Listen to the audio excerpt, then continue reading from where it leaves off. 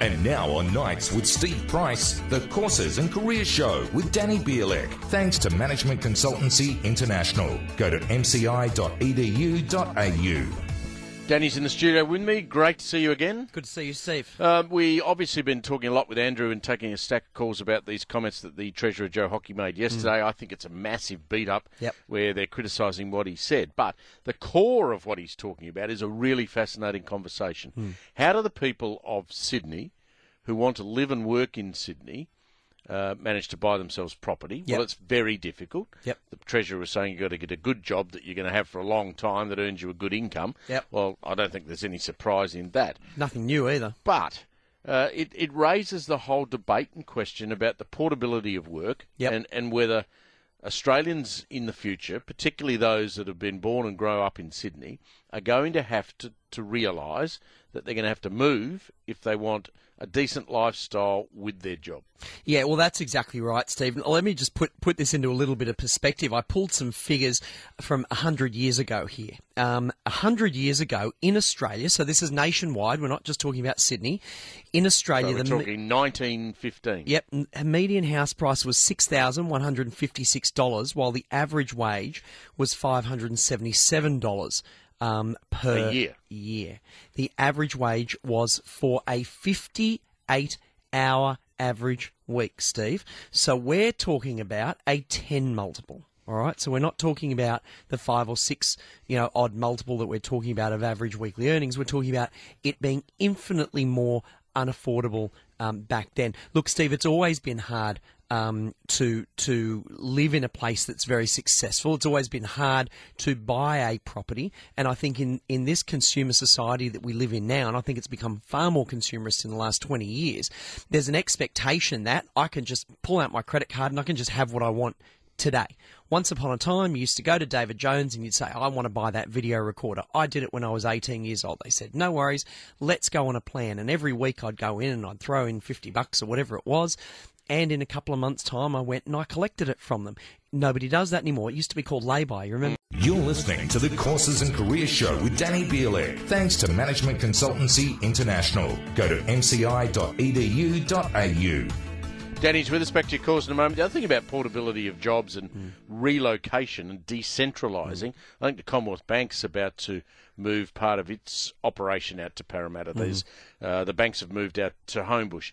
It's cheaper real estate for big business. Yep. Why do you need to be in the middle of the city? It depends what you do. You absolutely don't. Look, there's it's it, it's beneficial sometimes just to be able to go building. and scoot over to see a business partner or something like that. The yeah. reality is, Steve, um, that a lot of businesses like the Commonwealth Bank moving out to places like Parramatta um, is is a big vote of confidence in those areas, and it does create jobs, and it means you can live in St Mary's, you can live in Penrith, you can live in. we could relocate 2GB to Wagga. What would be the what, what would be the problem? Might be a bit of a commute for me, but that's all right. I don't I don't mind. Well, I, don't no, I think could, Wagga's beautiful. You could just ring me up, but I mean the point is you could do this operation. Correct. Uh, well, we're not in, in Sydney of the broadcast. We're in Pyrmont. You know, the sales guys might need to be here to go around the city and sell stuff, but yep. the broadcasters, we could all buy houses in Wagga and go and live there. And in fact, you'd probably be closer to your panel operators, your producers, your technicians, all of those sorts of guys. Yeah, all living in the same. It'd take you ten minutes to get to work. Absolutely. You know, there would be people who work in this building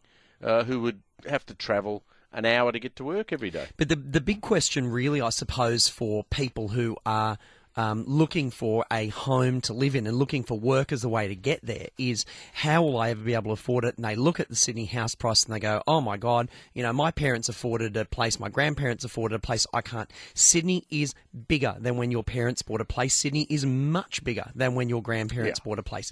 The beautiful part about the way that we do things in Australia now, and I don't think people really appreciate this, I'm going to talk it up because I always do. We have something in Australia called the Australian Qualifications Framework. If you studied anything in Australia, it is recognised around the country. There are a couple of min- minor exceptions that are being worked through, like hairdressing, I think is still a problem.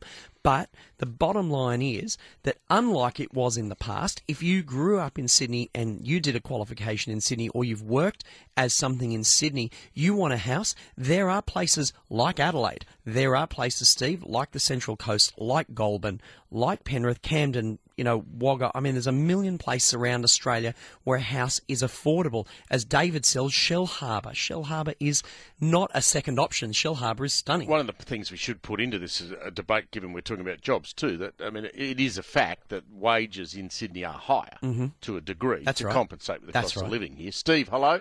Oh, g'day, Steve. G'day, Danny. I just wanted to say on the infrastructure issue, um, I live on the Central Coast. One thing they need to do is you can't catch a train um, because there's no car parks At the Right. stations, at, at stations. really? And really, if if I hit Gosford Station, if you're not there by seven o'clock in the morning, good luck getting a park. Everywhere around it is um, two-hour parking. Yep. Yep. So what they need to do, the government's already owned the train lines, right? Why don't they build them above the train line, have free parking, get people That's at exactly what they need to do. They do it in Japan. get get people from Gosford and Woy Woy and Penrith and the Don't Blue Mountains, and you know what? All of a sudden, it's not a drama anymore. That's You a very say, good idea. They own the air above the railway line. Just whack up a ten-story car park. Why not? Why not? And make it free. Yep. And you know what will happen? more and more people will catch a train. You won't have derelicts on it because um, you know there's all the people leaving the city at you know six, seven, eight, nine o'clock at night. You're not catching the train on your own, um, and then bang your cars there, and you, you, you're home. And it's environmentally brilliant. And I just can't understand how neither government, and I'm not blaming Liberals